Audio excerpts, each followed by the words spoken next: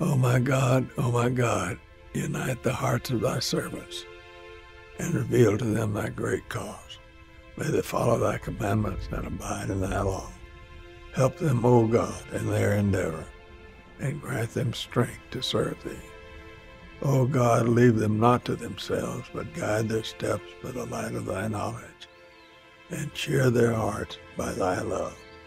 Verily thou art the mighty, the powerful, the omnipotent. You know, you don't live long. I'm old now, 92. But it seems like my life's gone like that. That's what I would say to anybody. Your life goes before you know it. And in the end, there you are, you're faced with eternity.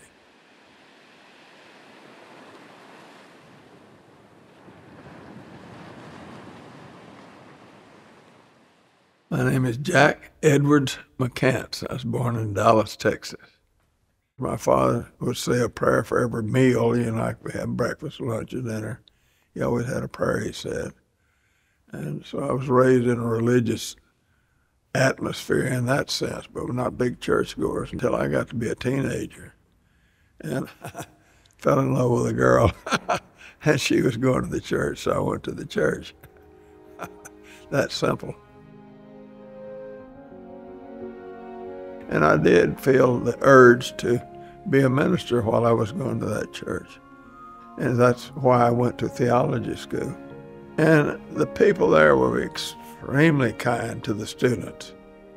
So I had a good experience there, except I didn't find myself being fulfilled in what I wanted in religion. It, it just was all, you know, from my viewpoint, this is just Jack talking, but there's a long road from the head to the heart.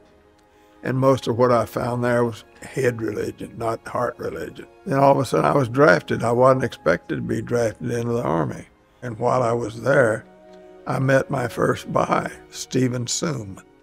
And he gave me this book, God Passes By. I didn't like the cover of the book, so I didn't read it. But I kept the book. And I came back to Texas after I was released. I was married and we had two little boys. And I decided I would go back and take another semester at, and see if I could pick up where I left off.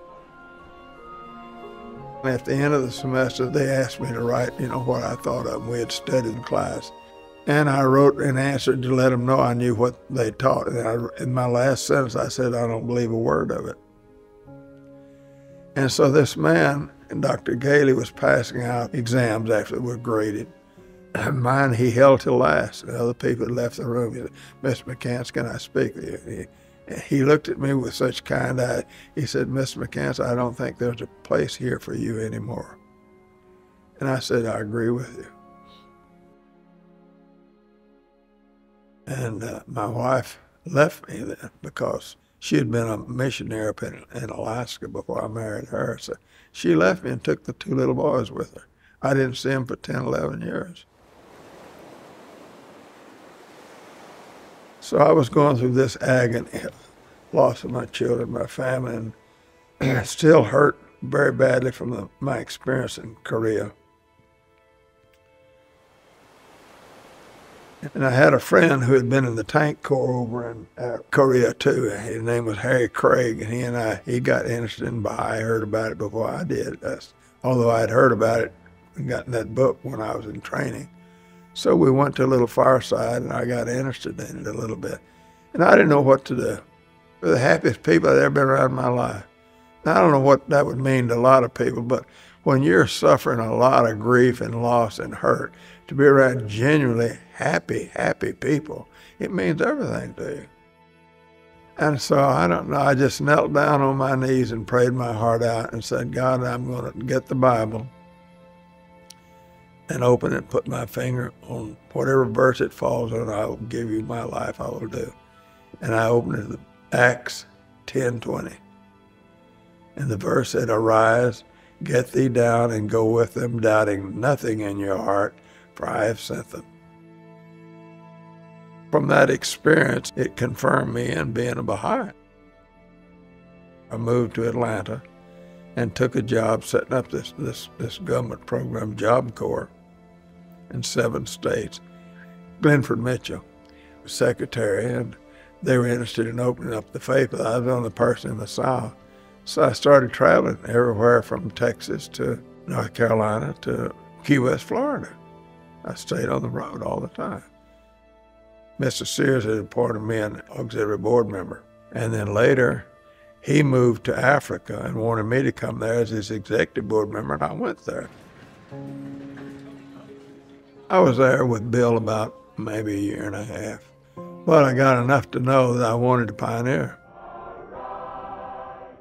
So I went to Western Samoa as a pioneer. And I was married in Hawaii before I left. I came back to the States and had to get get work here, so I did that. And uh, then I was elected to NSA and I served under 16 years. Purify our souls and our attachment to our material funds. We are about to witness the giving of the most holy book to the entire world. We will march together to emblazon the name of Baha'u'llah throughout this planet as we work to complete the work of arc building in Haifa. The thing that I so loved about most of the hands that I knew is they were the greatest listeners and they taught your heart. As I mentioned earlier, from the head to the heart is a long road. And they taught both the head and the heart, but they taught you. And they loved you, and it was real, man. It was not fake. They really love you. And I never forget that because it it changes your life. And if you're a young person and you're really going to survive heart, mind, and soul, from my viewpoint, you have no choice but to be a Baha'i. You have to learn to be a Baha'i. And it's a slow process. You can't just learn to be a Baha'i overnight. And I'll tell you, seriously, it's difficult to get along with some of the people who are Baha'is because they haven't been Baha'i long. And they've got the habits they bring into the faith when they become Baha'i. And so you're learning to live together as the oneness of mankind. And you come from such different backgrounds in this country. And to bring you together into one little community and to love each other, it's a growth process. It comes day by day. And what it will teach you to do if you're going to survive, you'll learn to pray. And the great thing about the Baha'is, they have hundreds of prayers revealed by the manifestation of God and His Son, Abdu'l-Baha. They're perfect prayers. We've never had that before. For every single purpose in the world, we have prayers revealed by God Almighty Himself. Now that's amazing, man. You think about it.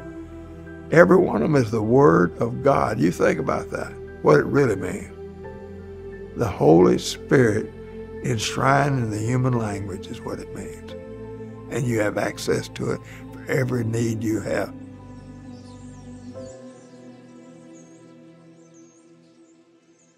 God will guide you into the next world.